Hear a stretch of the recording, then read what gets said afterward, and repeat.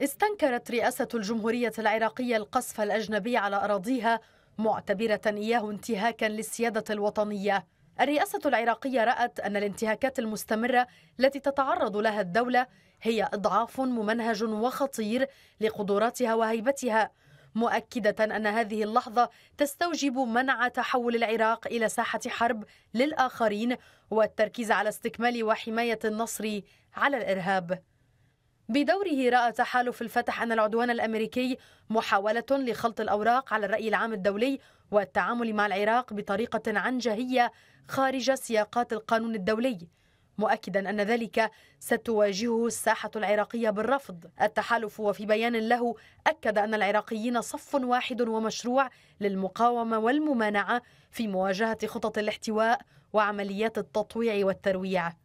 من جهته شدد زعيم التيار الصدري السيد مقتدى الصدر على ضرورة تجنيب العراق المزيد من التوترات والصراعات والابتلاءات داعيا إلى ضبط النفس ونشر السلام في ربوع العراق وترك العنف.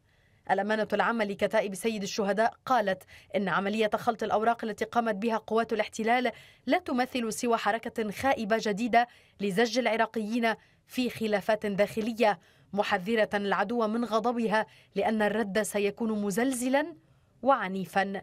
رئيس مجلس النواب محمد الحلبوسي دعا بدوره القائد العام للقوات المسلحة إلى اتخاذ الإجراءات الكفيلة بحفظ القواعد والمؤسسات العسكرية وسيادة العراق وكذلك بإجراء تحقيق في الاعتداءات على القواعد العسكرية العراقية باستخدام السلاح المنفلت لقطع الطريق أمام أي ردود فعل غير مبررة. أما النائب الأول لرئيس مجلس النواب حسن كريم الكعبي فأوضح أن لا شرعية لتواجد القوات الأجنبية داخل البلاد بعد قرار مجلس النواب الأخير مطالبا الحكومة والخارجية بالتحرك الفوري لإدانة القصف الأمريكي دوليا والمباشرة بإنهاء تواجد المحتل. عضو مجلس النواب عن عصائب أهل الحق نعيم العبودي قال من جهته إن الانتهاك السافر لسيادة العراق يستدعي إسراع الحكومة بإجراءات مغادرة القوات الأجنبية من العراق وتوحيد موقف القوى الوطنية. رئيس كتلة بدر النيابية حسن شاكر الكعبي استنكر بشدة انتهاك سيادة العراق داعيا إلى اتخاذ موقف نيابي وحكومي حاسم وموحد ضد الانتهاكات الأمريكية المتكررة فيما دانت إدارة العتبة الحسينية المقدسة ما وصفته بالاعتداء الصارخ الذي لا مبرر له أصلا.